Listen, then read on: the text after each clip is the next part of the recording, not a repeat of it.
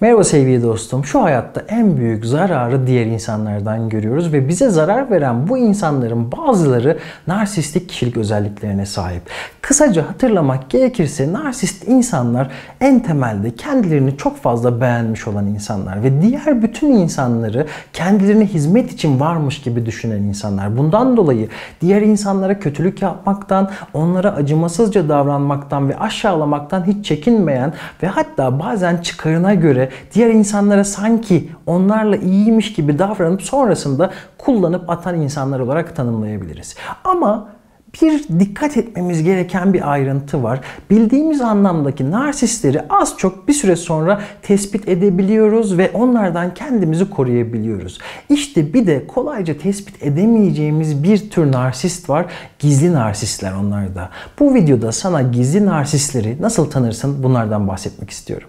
Gizli narsistlerin en temel özelliklerinden birisi eleştiriye karşı aşırı duyarlı olmalarıdır. Şimdi şurada şu ayrımı yapmak çok önemli. Hepimiz eleştiriye duyarlıyızdır. Hepimiz eleştirilerden etkileniriz. Ama şöyle bir düşün bakalım. Etrafındaki birisi sana olumlu bir eleştiri yapıyorsa, senin kendini geliştirmek için bir yorum yapıyorsa belki minik bir kırılma ya da hüzün yaşasan da sonrasında o kişinin iyi niyetli olduğunu düşünürsün ve eleştiriyi kabul edersin. Ama gizli bir narsist narsistsen Orada işler karışıyor. Karşı tarafın masum bir eleştirisini, olumlu bir eleştirisini bile kişi kabullenmekte zorlanıyor ve bundan sonrasında ciddi tepkiler gösterebiliyor, kırgınlık geliştirebiliyor, aylarca küsebiliyor ve sonrasında saldırganlık bile gösterebiliyor. Karşı taraf çok normal, yapıcı bir eleştiri yapsa bile. Çünkü bu insanların kafasında şöyle bir yapı var.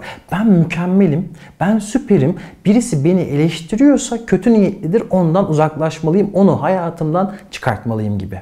Bildiğimiz anlamda klasik narsistlerle karşılaşırsan şunu fark edersin. Onların seninle bir derdi varsa, seninle bir husumeti varsa pat pat pat söyler, acımasızca konuşur, seni aşağılamaya çalışır, direkt olarak saldırır. Ama gizli bir narsistle karşı karşıyaysan, seninle bir derdi varsa asla seninle direkt olarak halletmez. Diyelim ki aynı iş yerinde çalışıyorsun. Böyle bir insanla toplantıya gireceksin ve bir şekilde sen bu kişiyi üzmüşsündür, kırmışsındır ya da onun işine gelmeyecek şekilde davranmışsındır. Ne yapar?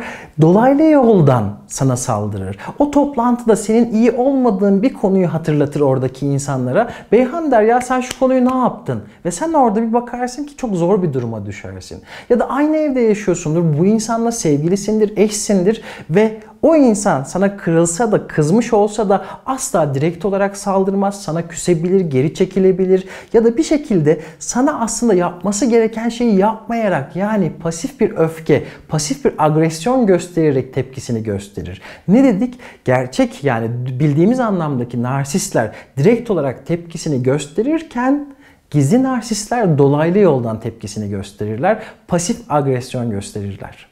Ben bazen danışanlarımdan şöyle bir şey duyuyorum. Diyor ki mesela eşimi dışarıdan tanısanız sizi öyle güzel ikna eder ki öyle mükemmel bir insan gibi görünür ki hatta ben korkarım e, bana yaptıklarını unutursunuz ve ona inanırsınız diye. Şimdi böyle bir durum var aslında gizli narsistlerde. Bu senin eşin olabilir, sevgilin olabilir, arkadaşın olabilir, annen ve hatta baban olabilir.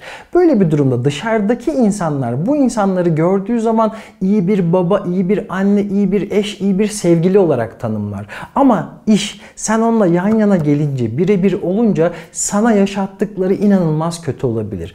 Bu insanlar, gizli narsist olan insanlar dışarıya karşı bir vitrin sunarlar. Ve her yerde sen normalde evde sana yapmadığı zulüm yoktur ama beraber annenlere gidersiniz ya da bir düğüne bir sosyal etkinliğe katılırsınız. Orada inanılmaz rol yapar. En romantik adam odur. En duygulu, en duygusal kadın odur. En ilgili baba odur. Ama iş eve gelince suratsız olabilir, sıkılgan olabilir, nefret dolu olabilir. Seninle muhatap bile olmayabilir. Ve sonrasında sen başka bir insana bu durumdan şikayetlendiğin zaman diyelim ki o kişi benim Beyhan mı? Beyhan yanılıyorsun bence. Sen kesin yanlış anlamışsındır. Beyhan inanılmaz iyi bir adamdır gibi bir yorum bile yapabilir. Dışarıda farklı, evde çok farklıdır gizli narsistler. Gizli narsistlerde sık karşılaştığım bir diğer özellik de drama mıknatısı olmalarıdır. Öyle bir şeydir ki ne zaman kötü bir şey olmuşsa bu insanların başına gelmiştir. Ne zaman e, sıkıntılı bir şey yaşanmışsa bu insanın başına gelmiştir ve beraber oturduğunuz zaman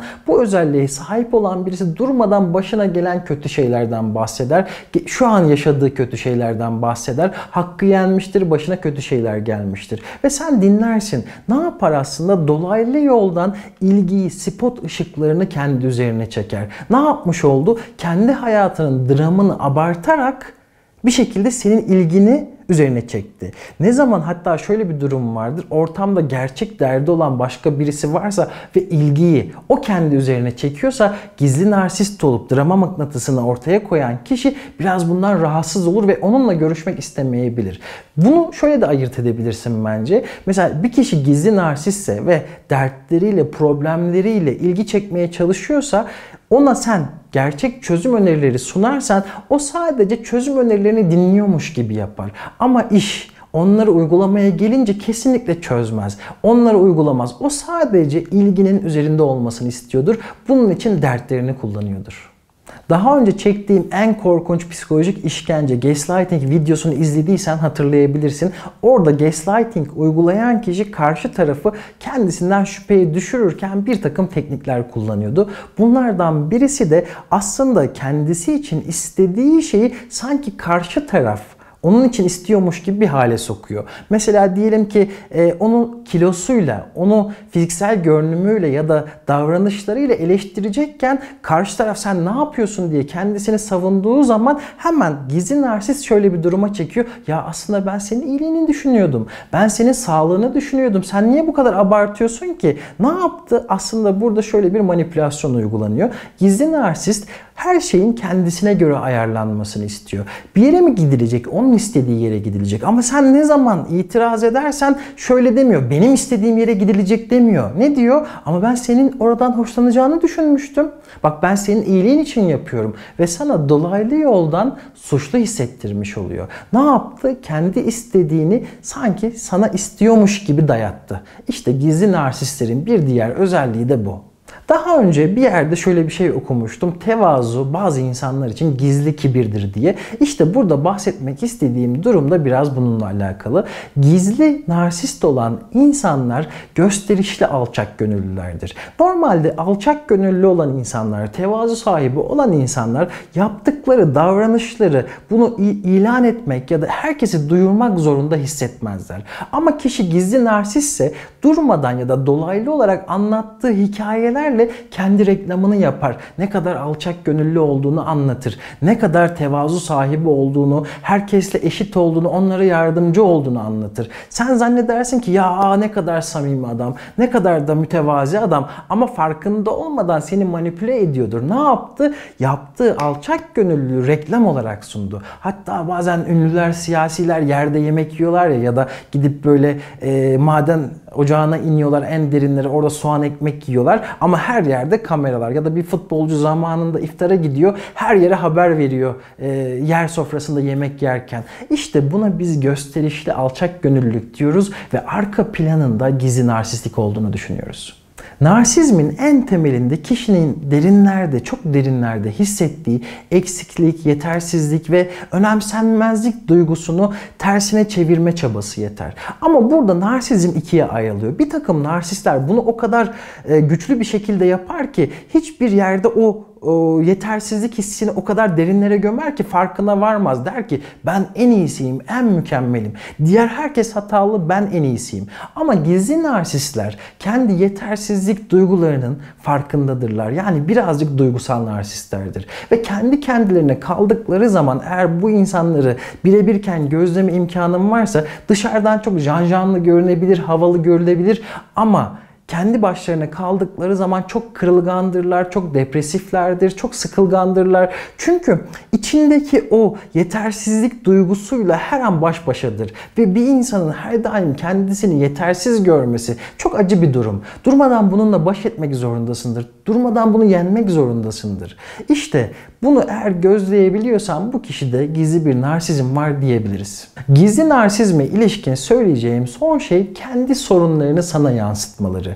Bunu bildiğimiz anlamdaki açık narsistler de yapıyor ama gizli narsistler bunu birazcık daha duygusal kisveye sokabiliyor. Eğer ki o an kendisi yetersiz hissediyorsa seni yetersizlikle suçlayabiliyor. Kendisini başarısız hissediyorsa seni başarısızlıkla suçlayabiliyor. Ne yapmış oluyor aslında? Kendi içindeki duyguyu seni aşağı çekerek dengelemeye çalışıyor. Baktığımız zaman bazı gizli narsistler etraftaki insanların başarısını sıklıkla kıskanabilir ve onların başarısına her zaman bir mazeret bulur. O şöyle yaptı da başarılı oldu. O şöyle de yaptı para kazandı. O şöyle yaptı üniversiteyi kazandı gibi her zaman diğer insanlar için bir mazereti vardır. Ne yapar aslında? Kendi içindeki durumu, o acıyı, yetersizlik ya da başarısızlık hissiyatını o şekilde telafi eder. Tam olarak sana burada bir soru sormak istiyorum. Narsist insanların değişebileceğine inanıyor musun? Bu soruya cevaplarını yorumlar kısmında verebilirsin. Yorumların hepsini okuyacağım çünkü bu konuda bir video çekmek istiyorum. Hem bilimsel veriler ne diyor hem benim gözlemlerim neler ama öncesinde eğer ki hayatında bir narsistle karşılaşmışsan, beraber yaşamışsan, beraber çalışmışsan her bir gözlem benim için çok değerli. Cevabını yorumlar kısmında bizimle paylaşmayı unutma. Beni dinlediğin için çok teşekkür ediyorum güzel insan. Eğer ki bu videoyu beğendiysen beğenmeyi ve kanalıma abone değilsen abone olmayı unutma. Kendine iyi davran. Görüşmek üzere. Bu arada biraz hastayım 3-4 gündür. Bu videoyu çekerken biraz daha toparlanmış hissediyorum. Eğer ki bir e, hatam yanlışım olduysa affola.